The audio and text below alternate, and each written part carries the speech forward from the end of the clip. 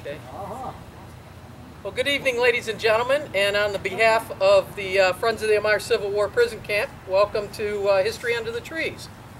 Every every month it seems to grow just a little bit more, so hopefully we'll be packing the lot here shortly. The obligatory housekeeping rules. If you need to get a hold of us and haven't found us, um, follow us on our Facebook page or at our website at elmiraprisoncamp.com. We do ask that you take all your trash with you because, as you can see, we're a carry-in, carry-out operation. But we do have a garbage can in the building, so. If you feel the need, there is an edge head behind the building that you're welcome to use. Might be a little warm, but uh, it's there. Okay, the other thing is we run on volunteers, so if you're interested and you think you might want to help out every once in a while, please leave your contact name and number with us and we will get back to you because we do like our volunteers. Um, and now for the usual, please help us with money appeal. Um, before you leave, if you're interested, there are membership forms here. The money that we take in through memberships um, lets us keep programs like this free and open to the public, allows us to keep our admission free, allows us to do the school programs that we do. And now that we have our library facilities, we're also looking to collect letters and diaries and um, in information directly related to Elmira. So, and that stuff, when you start looking at eBay, some of it's kind of pricey. Um, we also have on sale tonight uh, our baseball caps. You got one? They're usually $20. Uh, this month they're on sale for 15 through the end of the month. And tickets for the raffle. Yeah, that's the next on my list here. Oh. And this lovely lady behind the table here, Arvana White. She's with uh, Blue Iris Quilting, and she donated the uh, quilt for our raffle this year. Tickets are five dollars each, three for ten. And of course, cash donations are always welcome. And you said you got, Ice cold water, help yourself, and yeah, that contains. and then just you know drop something in the in the bucket when you take it. Our next program will be August 15th at 6 p.m. So with that, let's get to the meat of stuff. Wait a minute. That's when the quilt raffle drawing will. Yes, and the raffle drawing will also be at our August history. Um, all right, so how exactly did a prisoner of war, or more accurately, 17 of them, manage to evade camp security? It's a prison, right? Problem. Nobody should get out. Well, we had a total of 17. We had two the, uh, the month the camp opened.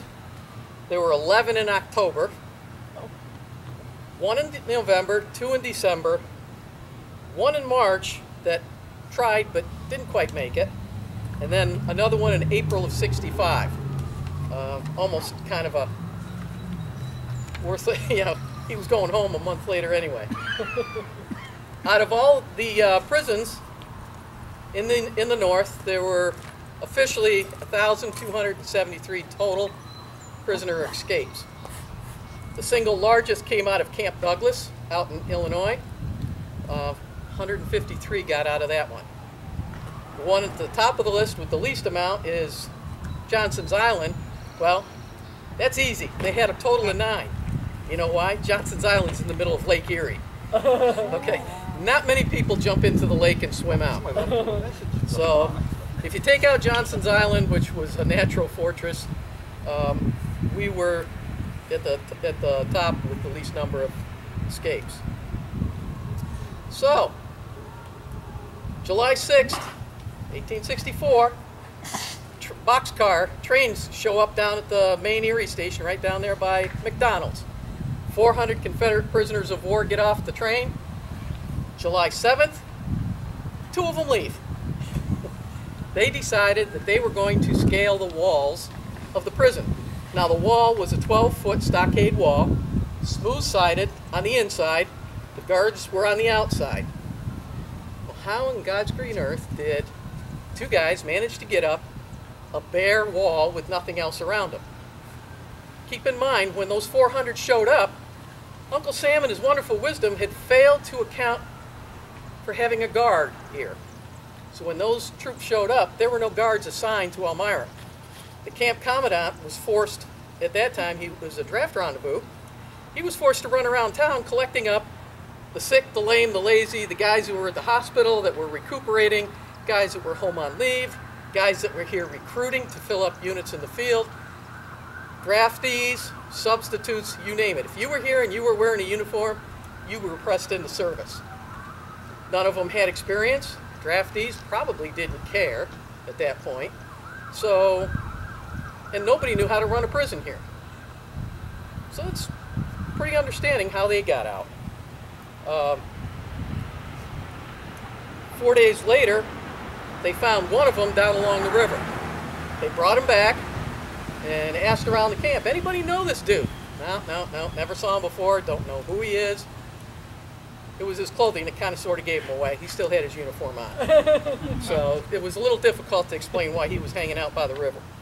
His buddy that went with him, nobody ever knows what happened to him, and at this point, we don't know the names of either one of those individuals. So they're still kind of in the history books as shadows. Then again, on August 1st starts the saga of Sergeant Joseph Womack. Now, Sergeant Womack was a member of Wade Hampton's Legion, Cavalry Le- Legion, and he was captured down in Virginia. And he was captured, he was sent to Point Lookout down in Maryland, and Point Lookout had a really bad reputation because it's, if you've ever been down there, it's just, just this spit of sand out that sticks out to the uh, Chesapeake Bay. He was one of the first transfers here to Elmira. When he walks in, he befriends a guy by the name of Berry Benson. Berry Benson was a sharpshooter. And if you look him up online, you'll find that he's got a nice little uh, autobiography written of his, his exploits. Now, Berry was a good guy to, to know. Why? Because he'd been captured two other times, escaped twice before he got to Elmira. So it's like, hey, this dude might know what he's doing. so they get together and they decide that they were going to form a pact. Well, once they did that, what did they do? These guys were pretty dis- disciplined about what they did. First thing they did, they decided to walk the entire camp and look for weak points. Then they sat down and considered the merits of different ways to go. The first was to collect up all the other inmates and do a mass charge on the guards to get out. Eh, they decided eh, the, the chances of that working aren't, aren't so good, especially if they found out there was artillery out here. So they said, nah.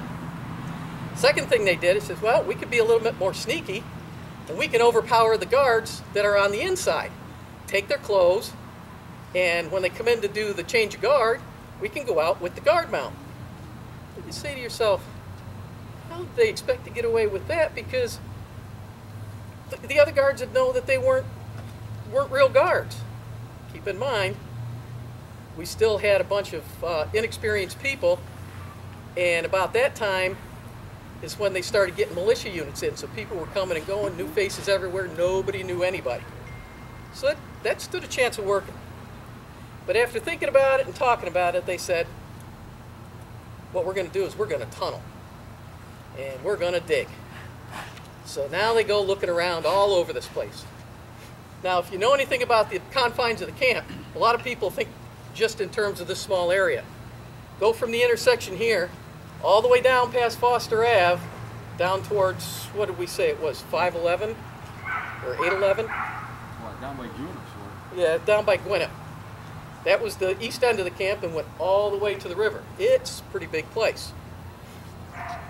At the far end, at the west end, is where they built the hospitals. Now, you see how this barracks building is built up off the ground? If you look at it, you'll see one end looks higher than the other. They found a hospital building that did just that.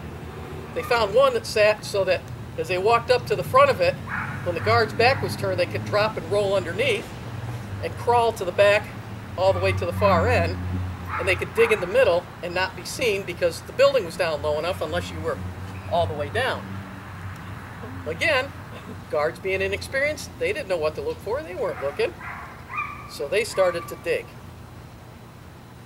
What did they use to dig with? They went for top shelf tools. They went to the cookhouse and stole a couple table knives. and that's what they started to dig with, believe it or not. They dug at night, so what they would do is they roll up under at night, get in there and start digging away, and in the morning they disappear again. They decided that they needed to lay in supplies for their for their escape too.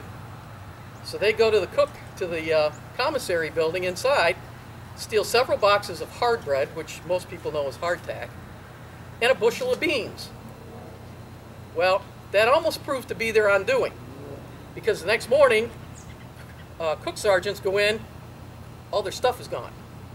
Well, that created an uproar in the camp. Guards pulled everybody out. It was from, you know, that movie uh, Fugitive. I want a hard target search of every hen house, dog house, bunk, barracks. I don't care if there's a rat hole, you tear it apart. And they sat in their tent all day sweating about getting found out. The guards never looked under buildings. So again, they got away with it. All their stuff was secreted in the tunnel, so they kept it. Well, this goes along for a couple of weeks. Just about ready to finish it up. They crawl in the last night or so beforehand. It's caved in. What in God's green earth has happened to my tunnel? They're looking around, looking around, so they decided just to sit and hang out and see what happened. Well, a little bit later, a couple more guys showed up, rolled underneath, and did the exact same thing. Had a different crew that was digging in there that knew nothing about these two, and their tunnel ran into the other tunnel and collapsed the first one. So Benson and, and, and this, the, the other gentleman there, they decide that, well, let's just all get together, decide on one tunnel, and we'll all do it. Well, that went along pretty good. They were all set. They was the night before they were ready to break out, and when Womack and Benson shows up, there's twice the number of people that are normally there to dig. Friends that invited friends. Well, Benson and, Tru- and Womack look at it and say, "This is not good. The more people that are here, the higher the risk." So they turn around and go back to their tent. Well, the next morning, bright and early, the guards go rushing to the to the end, and they're all standing around where the hole was supposed to come out. And when those guys came up out of the hole, they caught them. There's a reason that they got caught. And we'll talk about that a little later. So, in the meantime, Sergeant Womack, as an orderly sergeant and a ward sergeant, it gets, starts to get familiar with the officers, and he makes some friends. And they apparently got to talking, and the officer found out that Womack liked, to read. So he starts giving him books to read. Innocent, right? Well, one day Sergeant Womack gets a book. Lo and behold, in the middle is a blank, unsigned camp pass. Nothing on it, totally blank, authorization to walk out the front gate. Can't believe his, his good luck. Clo- he closes up the book, goes finds his friend Berry, shows him the uh, pass. Mr. Benson says, I know exactly who you need to go talk to. You need to go talk to a guy by the name of Miller. Come to find out, Miller was an engraver before the war. And he had started a business in the prison of forging orders on the Camp Sutler. he was forging Major Colt's signature on it and getting extra supplies and extra food and whatever. And he's been apparently pretty successful. Well, Womack thinks about this, and he thinks about it, he thinks about it, he says, you know, I don't trust somebody else to know what I've got. And I'm not so sure I want to go this route. So he puts the pass back in the book and gives the book back to the officer. Well, this goes along, all transpires between August 1st and October 7th. On October 7th, the morning of, is the Great Tunnel Escape. At this point, a tunnel gets up outside the barracks and 10 guys get out. Well, how did that happen? Well, initially it was thought that only seven got out. But part of that was because the ward sergeants that were responsible for reporting roll call, they agreed not to report missing men that morning. So roll call was held, all present and accounted for. The federal guards never double checked. For two, three days, they never double checked. finally, they did another roll call, and oops, oh, by the way, there's three more guys that are missing. So, but by then, they blocked off the tunnel because they found it. It was estimated that the tunnel took about, the tunnel that they got out took about five weeks. Okay? Uh, we, Five weeks. It's a long time digging with knives. So, let's see, where are we at? seven and three. Yeah, ten. yep, that's 10. At the time Holmes was writing the book, he was trying to find all these guys. By that time, three of the guys that were involved in this, one of them, the mastermind, uh, had passed away, and a couple others had disappeared, and, a, and another guy disappeared with no trace. Nobody ever knows what happened to the guy. So most of what is known came from an article in the Montgomery, Alabama Advertiser. When did this article get printed? 1902. Okay? This whole story never hit the papers until 1902, except for right here in Elmira. Think about how fast news spreads today. But on top of that, that account was a secondhand account by a lady who had transcribed and read uh, Sergeant Strug, Scruggs, the sixth sergeant's original, uh, original account of it that was not written until 1887, quite a few years after the war. 1887, 1886, somewhere in there, is about the time Reconstruction was moving out of the South and the southern states were starting to take over. So a lot of these stories started to float to the top because up until then, that wasn't something that you uh, owned up to. So who were these other guys? And by the way, the name of the title of the article was a, The Thrilling Story of 10 Intrepid Confederates Who Escaped from the Horrors of the Military Prison in Elmira. Now, mind you, these guys, October 7th, came in on July 6th, some of them. They weren't here that long. And they were here when, before rations were cut, they were here before things really got truly overcrowded. So they had some pretty good, uh, pretty good days here. They originally came. Who were they? They originally came from Jeff Davis Artillery, Carter's battalion. One of the guys that helped start the tunnel enlisted in Selma, Alabama, in June of 1861. And everybody today knows what happened in 1961, 66, 67 in Selma. So, Not me. huh? Not me. Selma?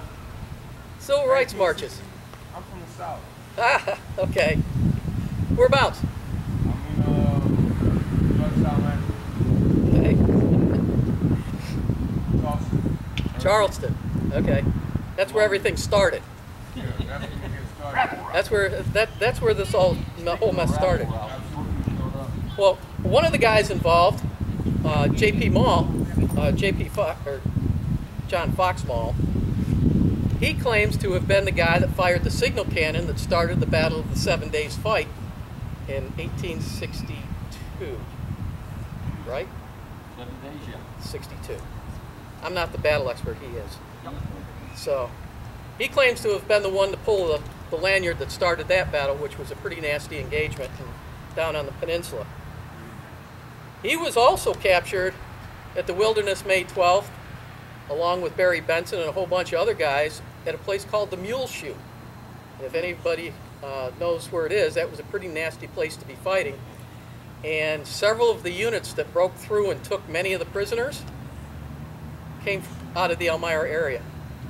The 86 New York specifically, they were um, a unit from Steuben County, but one of the companies was recruited predominantly here in Elmira and uh, uh, Well, Corner. Wellsville, well, uh, Millerton area, Jackson Corner, Jacksonville, that time. that was all company E. Yep. Well, first place they go is Point Lookout. That's where they meet this gentleman, and then they get transferred to Elmira. They meet a gentleman by the name of Frank Soreen. Well, all these guys ended up in the 110. It's listed as being the second tent on the west end of the second row of tents nearest the city. And what that means is, is up towards Water Street, up up in that area over there, there were rows of tents that went across. And they were double rowed back to back. Originally, their tent was in that second row, facing away from the street and away from the wall at the far end of the row of tents, as opposed to being on the east end. The front row of tents was only 35 feet from the wall. Elmira is one of the few, is one of the only ones that we know that did not have what they called a deadline. And a deadline was basically just distance from the wall that uh, prisoners weren't allowed to touch or go, go into because if they did, there was no questions asked. You stepped into the area, they shot at you. Period. End of story. Didn't happen here in Elmira. They didn't. They put the tents 35 feet from the wall. You could do whatever you wanted to do. Well, there were a couple guys in the tent by the name of Higgins, Putegnat, Alford, and Cobb. And Maull decides he's going to talk to these guys. And three out of the four object to this tunnel plan. They said, no, we don't want anything to do with it. He says, well, we can't dig in the tent if somebody doesn't. so the one guy that says, yeah, okay, I'll help you. How, they found an empty tent closer this way. Actually, it worked out in their favor. But how to convince the guards that there was a reason for them to leave that tent to come down to here? Well, they staged a fight. And the gentleman that uh, decided that that's what he was going to use, Mr. Maull, uh, his account says that he came out of that one pretty well bruised up. So I'm not so sure that it was staged as much as it was some latent hostility there. But anyway, they moved down here, same second row in, facing away from the wall, but it ended up being only the third one from the east end, so it was closer to this end. Then they decided that, well, maybe they should bring out another digger that'd go faster. They made a pact. They said, anybody in this group, if you start digging with us and you spill the beans, one of us is going to come for you with a knife. So don't spill the beans, literally. And anybody who discovered them, they decided, anybody who discovered what they were up to had two choices. You could join the crew and not spill the beans or get knifed, or not join the crew and get knifed. so there really wasn't much of a choice for those guys. They didn't have much of a problem with that. So they decided they're going to go up in equipment. And they steal a spade from a contractor that's digging ditches in the company streets. Now, a spade, so they stole a spade. Now, a spade we think of today as a hoe. Well, it wasn't a hoe, it was a, a straight shovel. And they figured, well, we'll just dig real fast with this. Problem, when they got down in there, anybody ever seen what ground around here looks like beneath the surface? What's it full of? Rocks. So when you throw an iron shovel against a rock, a lot of noise. So they decided that, well, they could they ditched the spade and they went back to the knives. Now, exactly how they go about it? Engineers, I swear to God, they were engineers. They cut a round hole, they removed the sod very carefully, set it aside, and they went down four feet. While they were doing that, they kept the tent flaps closed so nobody could see what was going on in there, and the rest of the guys hung out in front. Then they stole some planks from the walkway of the hospitals at the other end of the camp. Steal the stuff as far away from you as you can so that uh, you're not stealing on your home turf. What they would do is they'd put the planks over the hole at night and cover, put the sod back in so it didn't look like there was a hole there. One of the guys had an extra shirt, so they cut it up and made smaller bags out of it. Held about a pint of dirt. They had a coat that had a cape on it with a lining they cut a slit into. And what they would do is they'd take these three, four, five, six bags of dirt, slide them into the uh, lining. Guy'd put the coat on, walk around camp, and wherever he went, he'd look around, take one of the bags out, pour the dirt on the ground. But that only happened after they dug the first night. First night they took and spread it on the street. They said, we don't have to go very far. They're doing this after dark. They get up the next morning for roll call. Horror of horrors. They look at what they did overnight. The dirt coming out of the tunnel was an entirely different color than the dirt in the streets. And they thought for sure that that was going to show people that somebody was digging. But apparently, inexperienced guards never caught on. So they got lucky again. All right. Now, to move that dirt, this was a project because you're in the hole, and the hole is only big enough for one guy. I mean, we're not talking about turning around and passing buckets. so what they would do is the guy in front would sit, would lay on his side and dig and push the dirt back towards his knees and keep pushing. And then there was another guy in the hole behind him that would collect it, pull it back to the hole, fill the bags, hand it up to the guy, and that's the way they got the dirt out. Well, that took a little bit longer, and it started to wear on him because it was hard work. You get down in those holes, and you can't breathe because there's no air circulation. The air gets stale, you get headaches, you get sick. So rather than uh, stress themselves, they go and recruit another guy by the name of Cecrops Malone. Now, Cecrops was an Alabama guy.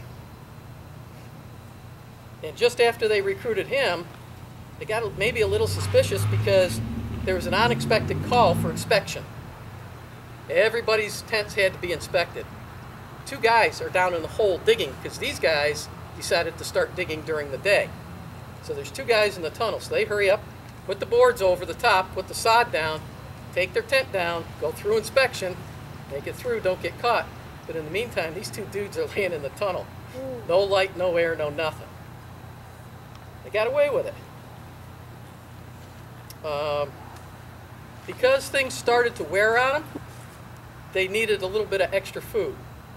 So they decide after this inspection incident, they needed help from some of the administration within the camp. So they recruited another orderly sergeant who would know when the guards were coming so that he could alert them or tell them when there was an inspection planned.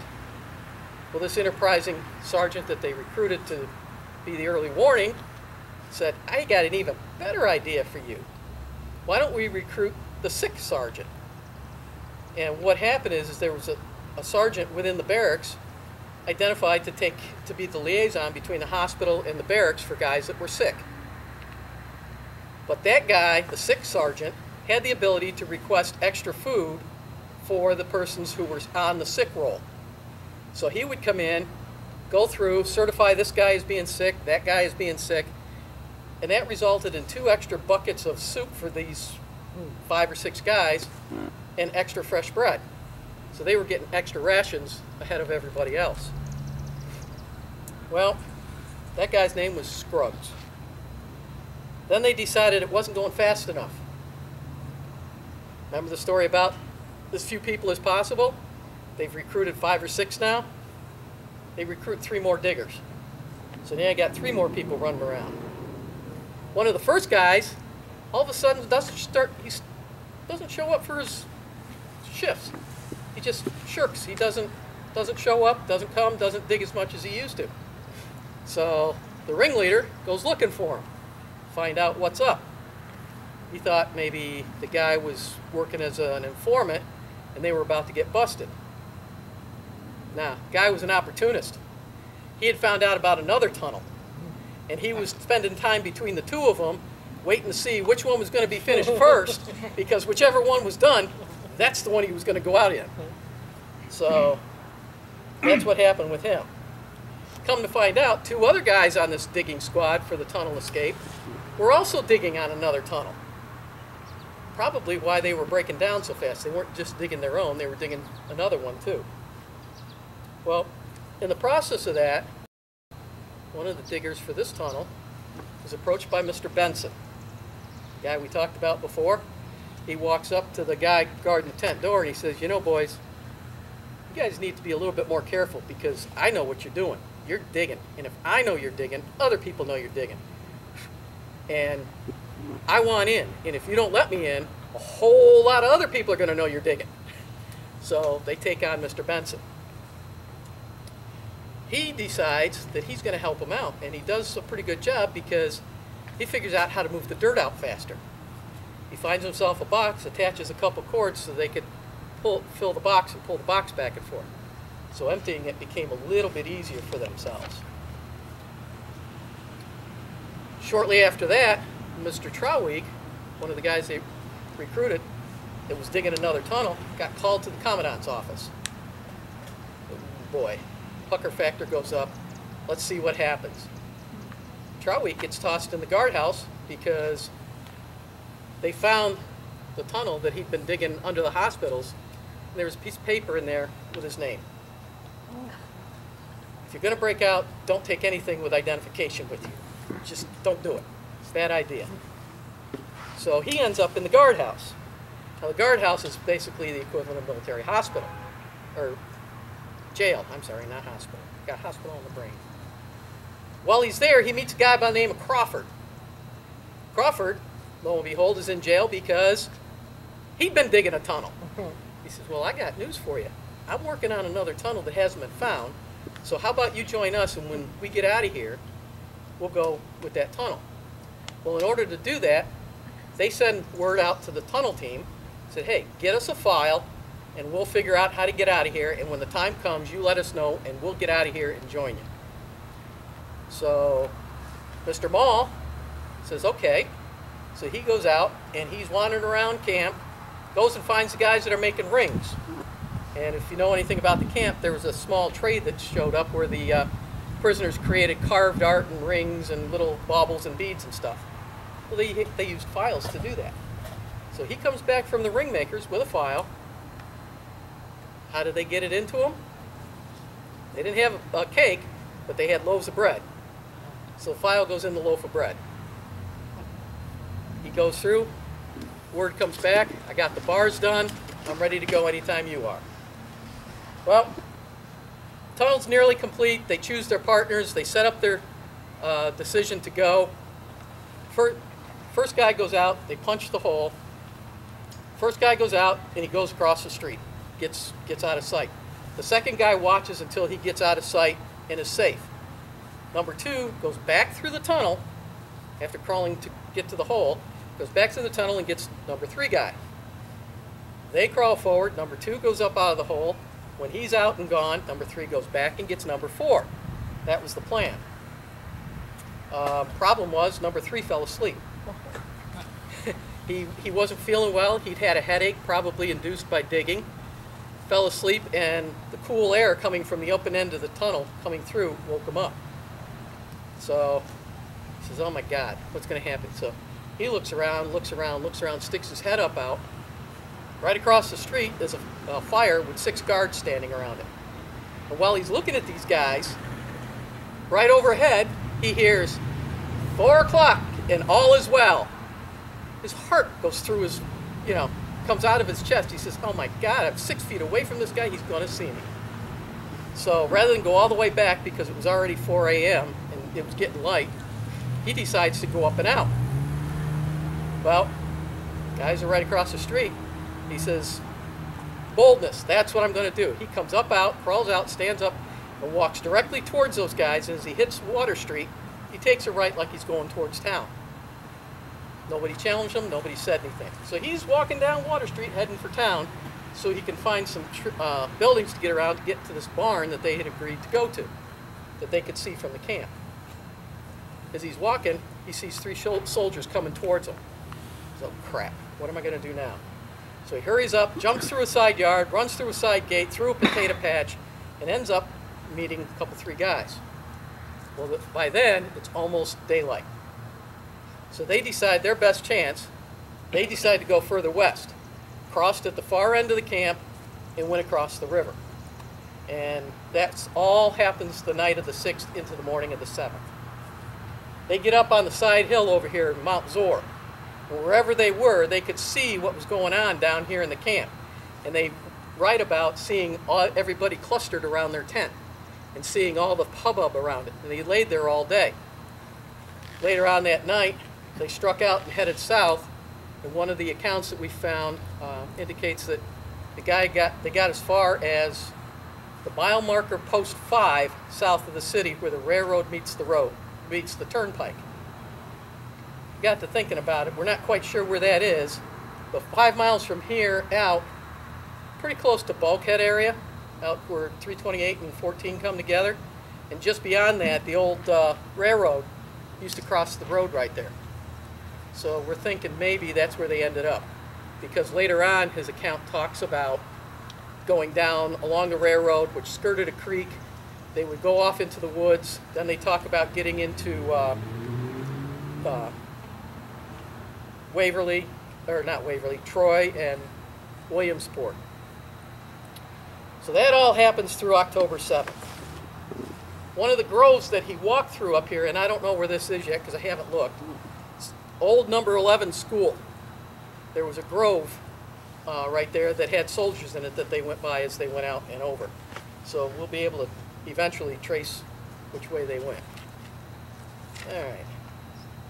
And they went whole bunch of things, ran into a whole bunch of people, skirted. Now, back to Mr. Mr. Womack.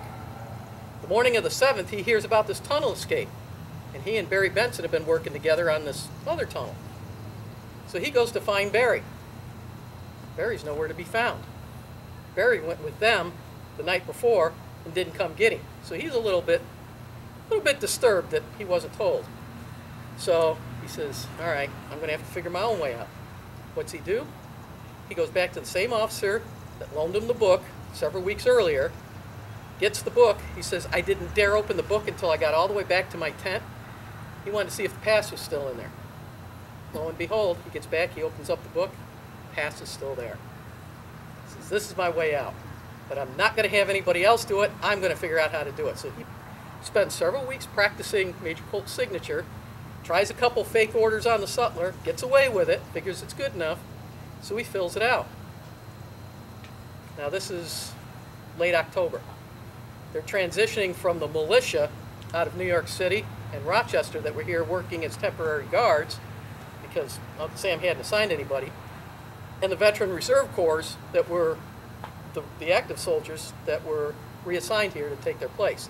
Transition time. Nobody knew anybody again. So he picks out a name of an officer that he figures nobody would know, puts it on there, walks up to the gate, hands the, and it's cold. So he's wearing an overcoat, he's got the collar pulled up, he'd stolen an officer's coat from one of the offices, pulls his hat down low, walks up, hands the pass to the guard at the gate. Guard looks at it, open the gate, escorts him to the outer guard. Outer guard looks at it, hands it off to the lieutenant, and he's standing there waiting waiting, and he's waiting for, you know, he's waiting for the lightning bolt to hit him, right? Hmm.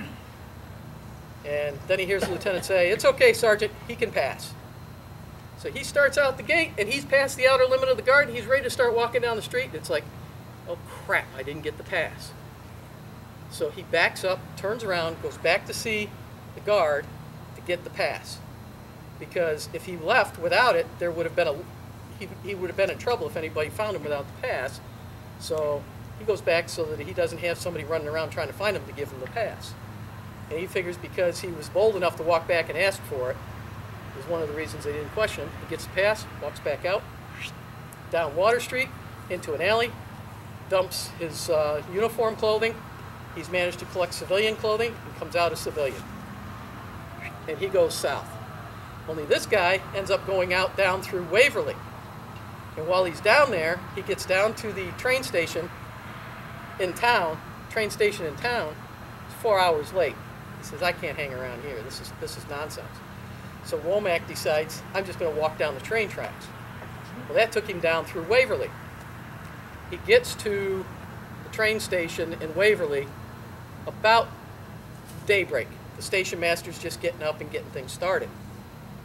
Says, ah, go over to the tavern, get yourself something to eat. Train will be through shortly. So he goes over, he sits down.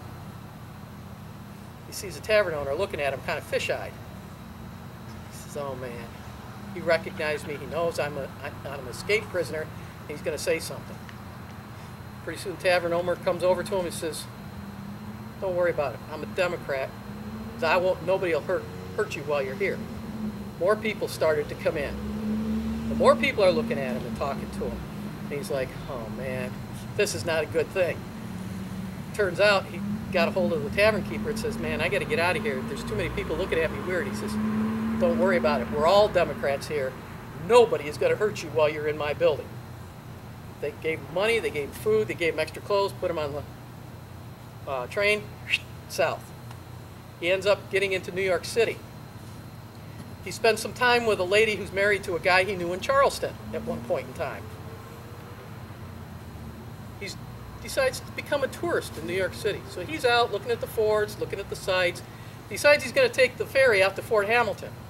So he gets up on the dock at Fort Hamilton, all set to go out and play tourist, and he runs into an officer he knew from Elmira, of all places.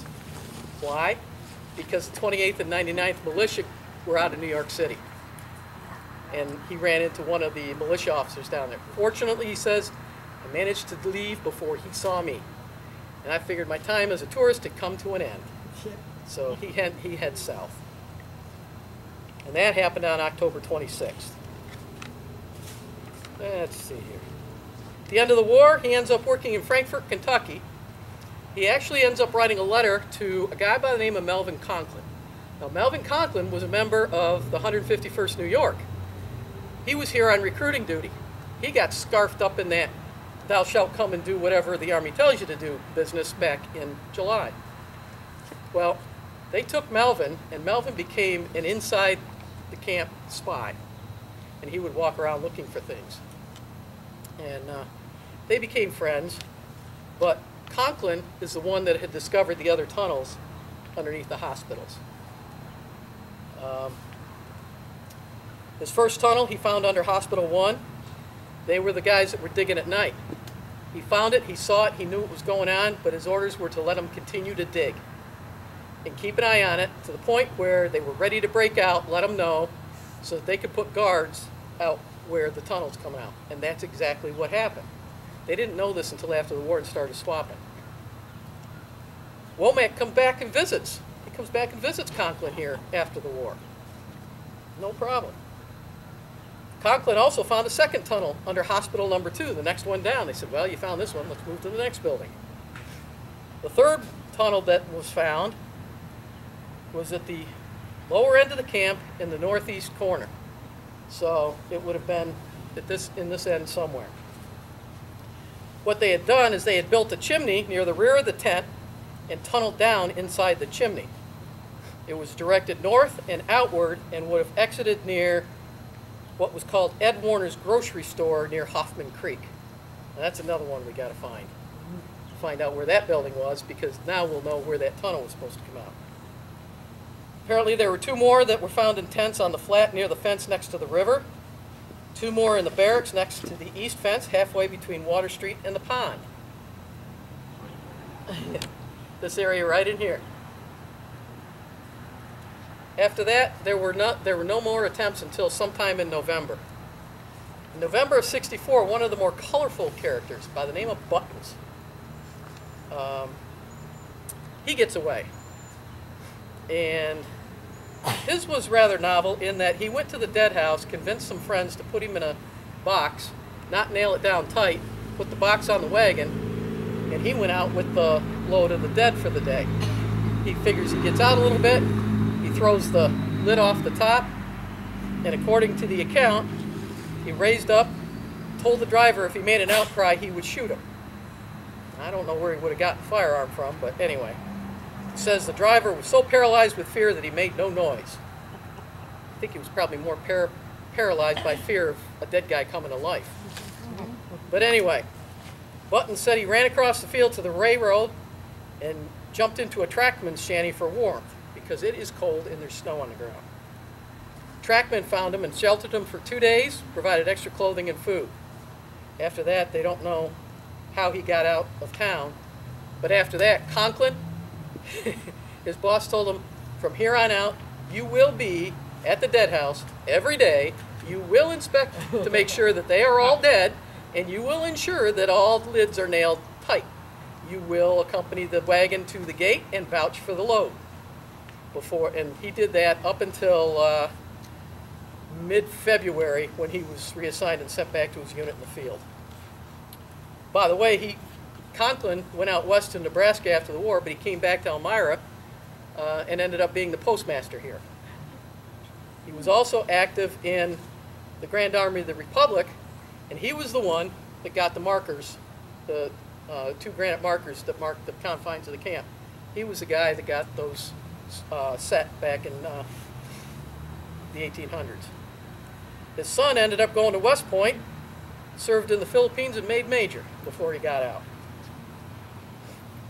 In December, there was a note that there were two escapes. There's no indication whether or not they were successful. There's no report of them. Nobody knows much of anything about it at this point. One of them, they do know something about. Guy, but little kid by the name of Benny Orchid. And for those of you who were here last month, you heard the story of Benny Orchid. Benny was a little, uh, little guy from South Carolina. He worked in one of the admin offices up front. And he watched everything coming and going. One of the officers' name was R.R.R. Dumars. Three R's, not a laugh. R.R.R. Robert something something Dumars. Not long ago, we found his uh, sword, his officer's sword, on the internet, bought it, and brought it home. So we now own Mr. Dumars' sword. Historical Society has a picture of Mr. Dumars, Captain Dumars, with that sword in his hand. So it's kind of a cool thing to, to have here. Well, anyway, Dumars was using his son to do errands for him. And everybody got, you were supposed to show up, knock on the window, push your pass through the wicket. It got to the point where, well, you know, Dumars, yeah, he's my captain, it's his son. All the kid did was yell his name, Dumars. As he came up, guard opened the gate, and Jimmy Dumars would go out the gate. Well, Benny Orchid's watching this th- happen. He says, you know, I'm the same size, same size, shape, and build as Jimmy. Let me try this. So hmm. one day, he finds himself an old slouch hat, steals a coat out of one of the officers' offices, and towards evening, when they're changing the guard, he decides he's going to try it. So he heads towards the gate, got it, his head down. He's trucking out the gate. He yells, Dumars. Door opens. Benny's out the door and never comes back. So after that, uh, Jimmy Dumars didn't work in the camp any longer. Uh, his father said, go find something else to do. In March of 16, uh, March 16th in 1864, a guy by the name of Dick Turpin was Colonel Moore's trustee, basically his servant.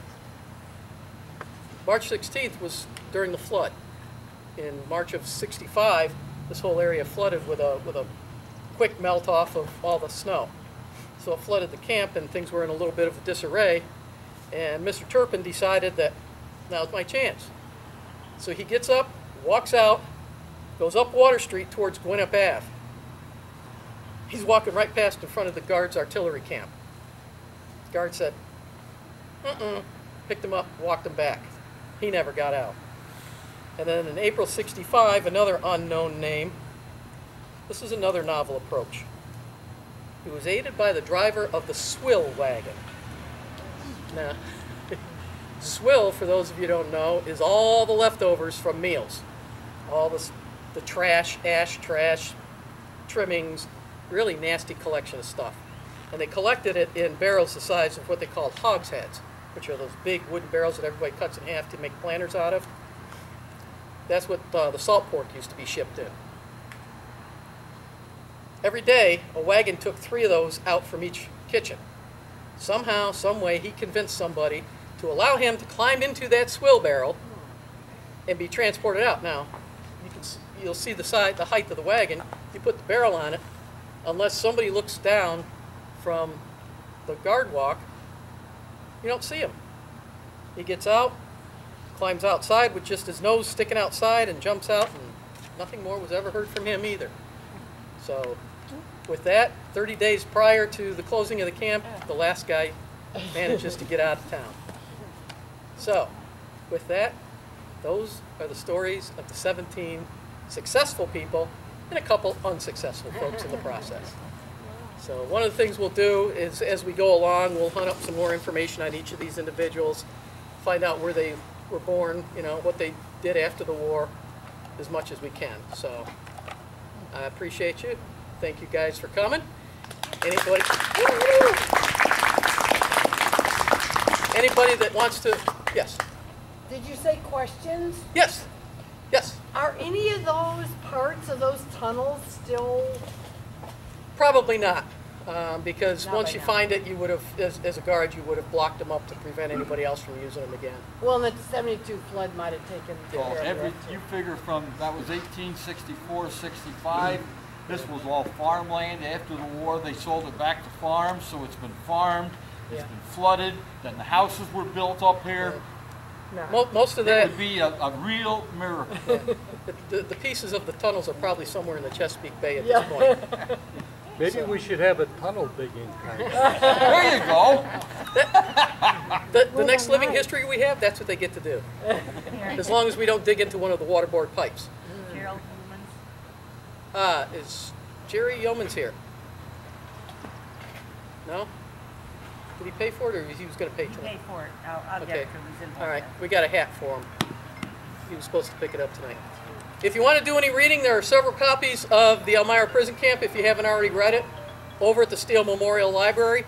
You can also find it online for free.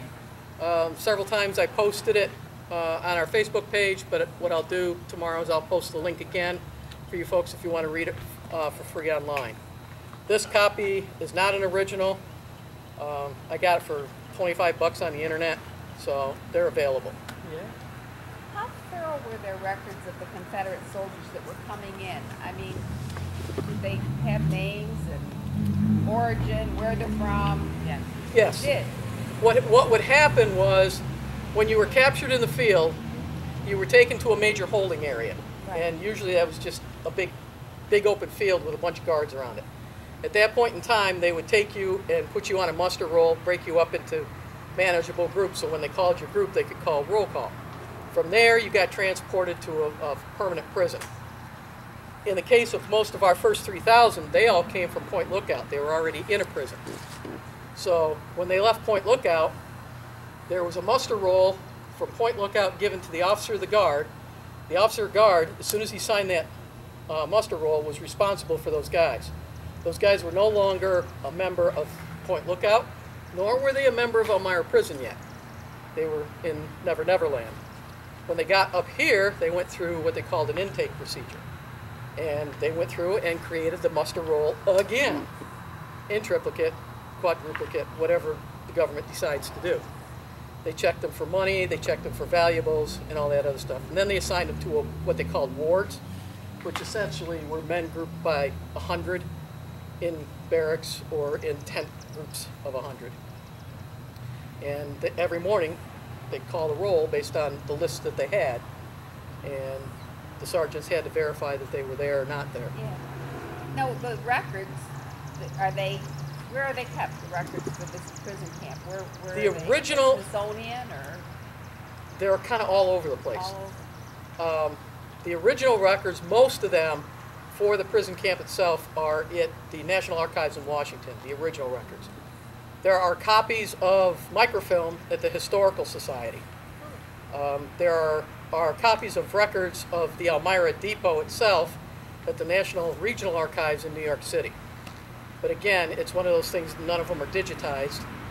So Yeah, so- nothing's on the internet yet, so if you Yeah. were a family, let's say from North Carolina wanting to research, It's a long drawn out process. On top of that, Confederate military records for the individuals, unlike the Union, which were kept consolidated and are in Washington, Confederate records are all by state. So you, you really have to know which unit your, uh, the guy you're researching came from, whether it was Virginia, you know, Georgia, North Carolina, Louisiana, you name it. Uh, and you have to go to those states to find those records, if they exist. A lot of records were destroyed, a lot of records were burned. Um, so, but this young lady here can tell you all about trying to spreadsheet names so that we can sort things and, digitize it. And it's a long haul. All the um, 2,936 men buried at Woodlawn that died here are on paper lists. But I was able to get a computerized list from Woodlawn, and I'm comparing it with the list that Terri has in that book there, the Clay Holmes book, Yeah, death row. as well as, um, what's the other one I'm using? The, uh, the book in the, from the 1980s. Oh, yeah, yeah. There, there's a couple of other lists I'm comparing it to. Finding misspelled names, Uh, but at least I'm finding um, and, and adding to the company, the regiment, and the state to those names that are that I got from Woodlawn because they weren't on that list. Just the grave number and the name and so so that will be available. Um, I'm on the what did I say? The The S's? S's right now. yeah. And that's, that's only three thousand, there's only nine thousand seven hundred and some odd more to go. Oh dear. But she's not volunteered to do those yet. No, I haven't. I'm not going to. I don't think she, I don't live that long. Yeah. And that's just, that's just long laborious, you know, looking at the screen, typing it in, looking at the screen, type, it just takes forever. But eventually, our goal is to get it digitized so we can put it in a spreadsheet so it can be sorted and manipulated for data and, you know, find out how many of these guys actually survived, you know, whether they went out, because there were a number of transfers out of here to hospitals south. So not everybody that didn't die left in June. Some left in October of 64, some in February of 65, some in March of 65. So, you know, we kind of like to know who went in which, which batches, so. But the most interesting I'm finding out, the largest number of deaths were from men from North Carolina. For Well, some and, reason. and part of that is because they comprise most of the prisoners here. They, they were the number one representation, uh, state representation. And most of that came from a place called Fort Fisher in Wilmington, North Carolina, or outside of Wilmington. Um, when Fort Fisher fell, 1,100, 1,400 of them, somewhere in that vicinity were transferred here. They were brought here. So that's one of the reasons that they show up a lot. Not because anybody was hunting them down and killing them, as Tom Hanks would say in, what is it, Angels and Demons, when they were talking about hunting down the bad guys in the church. Oh, how do you say it? They hunt them down and kill them? No, that wasn't, that wasn't what we were doing. Is there a record of um, who might be buried at that cemetery down by Weis Markets? Because I assume there's some soldiers in Uh, that Second Street Cemetery, that was a private cemetery. yeah? What happened is, right after the first 400 arrived, within a week, the government contracted for a half an acre burial ground up where the burying ground for the Confederates are now.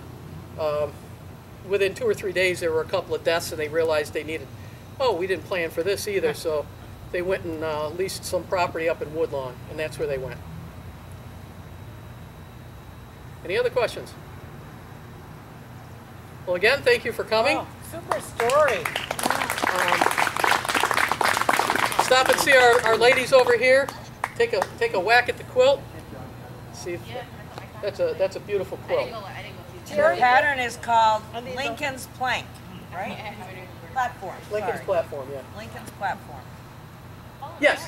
Anybody that wants to after stay around, you up for a tour? I'll take you Either to one? it. I'll Okay. tell you right now, it's hot in there. Yep. It'll be a quick tour. Quick. Yeah. Just tell them. Make sure you tell them it's quick.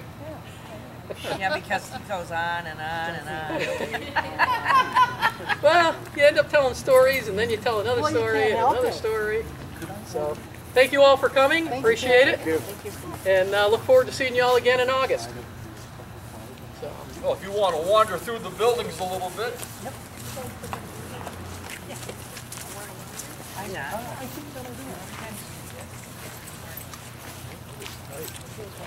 Why? It's hot. Yeah, why? Not as hot as. Oh, Hey, we need to get together sometime Yes, we do. and work on the the Oh, so, so oh, oh my god, so much better. Okay. Psycho. Wait, we're rated like.